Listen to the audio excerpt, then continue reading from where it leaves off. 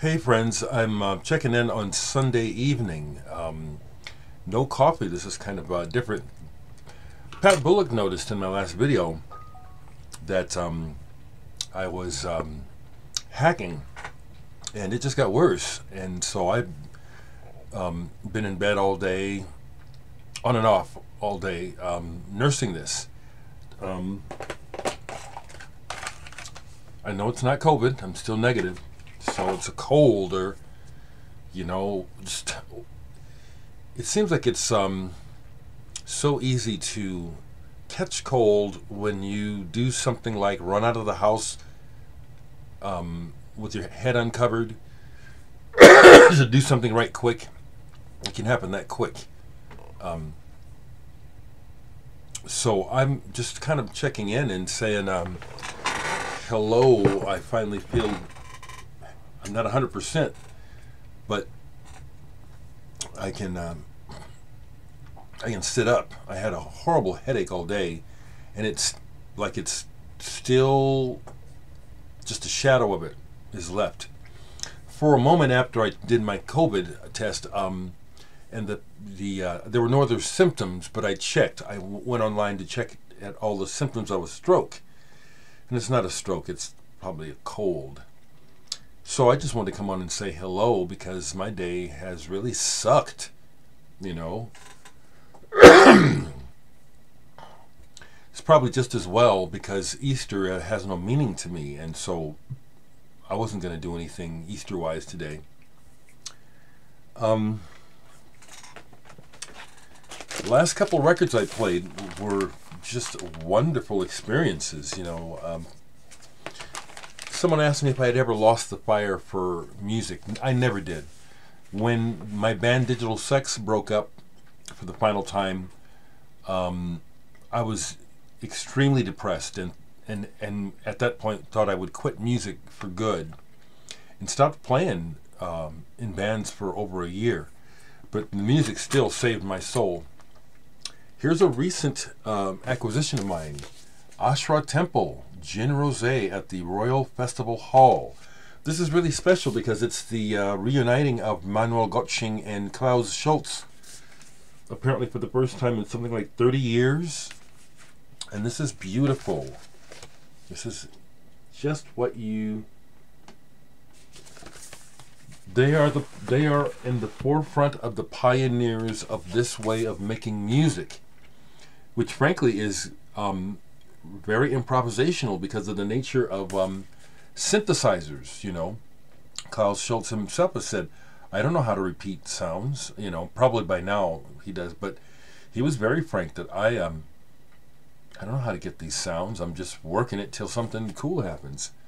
This is beautiful, gin rosé. See, there it is. It's um, not as bad. I mean, this when I got up this morning, I was well, not even this morning. Last night, last night was miserable. I hate not being well.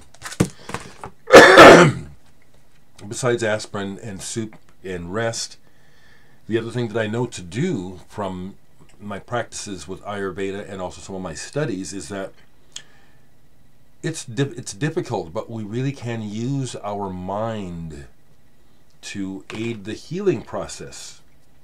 And I do it. I started trying this years ago and with with with um,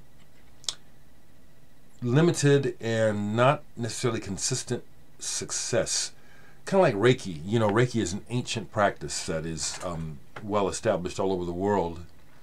So along those lines, you know, of, of focusing on on um, areas that are not well and uh, just willing it to, to move on, you know, and clear out, and for the body to do what it needs to do to get back on track. And it helps to do that. It does. That's my experience anyway.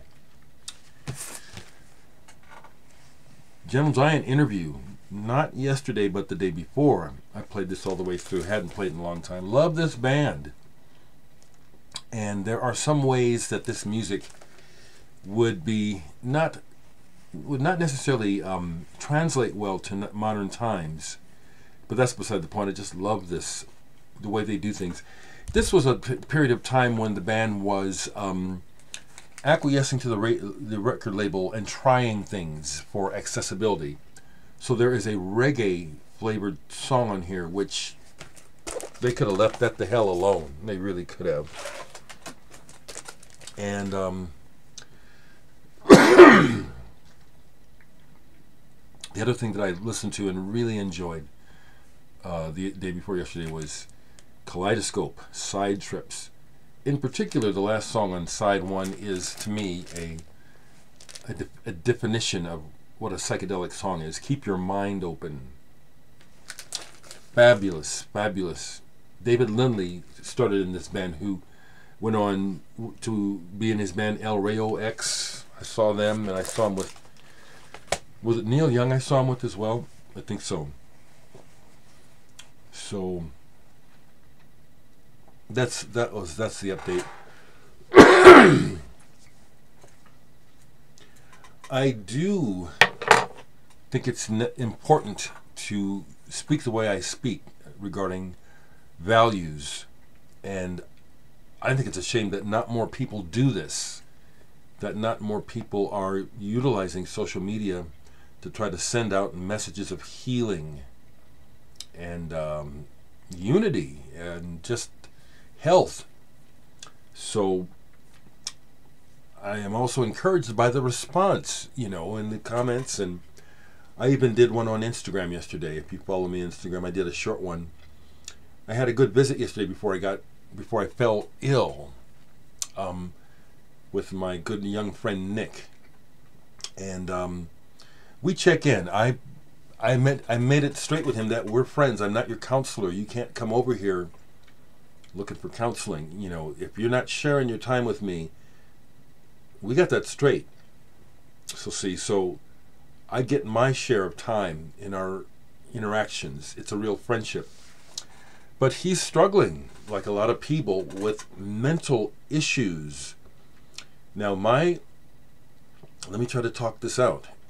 My perception of part of what's going on is far beyond the usual um, um, cycles that people go through in the year with changing of seasons and barometric pressure and all that stuff. I think it's far beyond that right now. I think that there is a heightened sense of despair and and um, uncertainty. There are many factors that are in play right now that have dismantled our um, traditional view of what the future holds for us. Some of us are more aware of it than others. Some people do just stick their head in the sand and just act like nothing's changed, you know.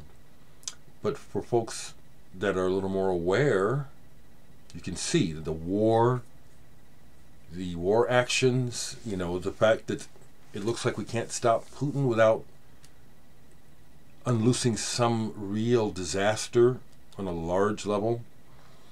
The climactic, disastrous weather that is happening on the planet virtually every day somewhere. The catastrophic flooding all over the world, you know.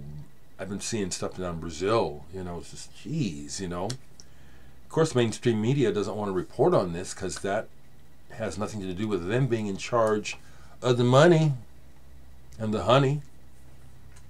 That's, I think that's also perhaps um, an aspect that's getting to some of us more aware people is that we are aware that there is no leadership, that we do not have anyone in office anywhere substantially that has the best interests of the people in mind. It's a game, you know. They're they're doing business and they're um, a, they're they're gaining for themselves and this is both parties to you know it's it's it's utterly broken so i think that that's part of what's going on. And you know kind of comes up in the um, conversation. My friend nick is 27 you know and you know he's still having these thoughts about the future and he just bought a house and you know would like to get married and want to have a kid, and then we start talking about that, and we look at the landscape and what kind of world, you know, we talk about it. So try to imagine your son or daughter, you have them like within the next couple of years, and by the time they turn 18, what will this world look like then? Because it's not going to look better. It's pretty obvious. So, so as I always say, thank goodness for simple pleasures in life, for friendship, for love, for a simple appreciation of the arts. That really keeps me going. And um, so that's what I want to say. And I'm whew, thankfully I'm feeling better here. Hopefully I'll be back to 100% tomorrow or the next day. I hate being sick.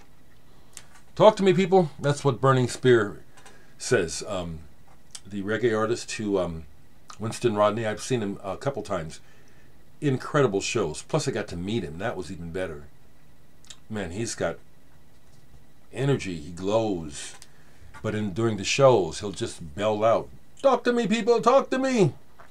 It's very effective, and it just keeps it lively. I was just thinking of him. Okay, people, check in with me. Sorry, no coffee. It's too late, and it wasn't agreeing with me today because of how I feel.